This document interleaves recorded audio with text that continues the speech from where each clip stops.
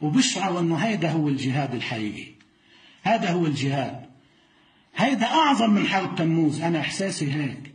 هذا الشعب اليمني شعب مظلوم شعب غريب شعب متروك. تجاوز بمظلوميته الشعب الفلسطيني.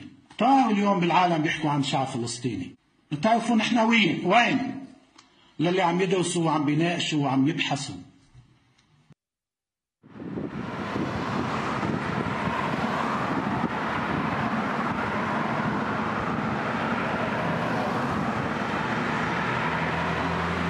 رأس الدبلوماسية اللبنانية الذي يفترض به أن يقدم خطابا دبلوماسيا خصوصا مع الأشقاء خصوصا مع الشركاء الحقيقيين للبنان.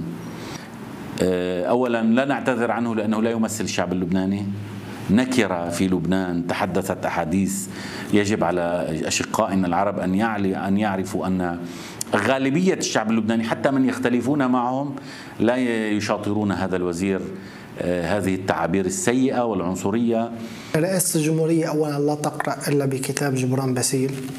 حزب الله لا يقرأ إلا بكتاب إيران.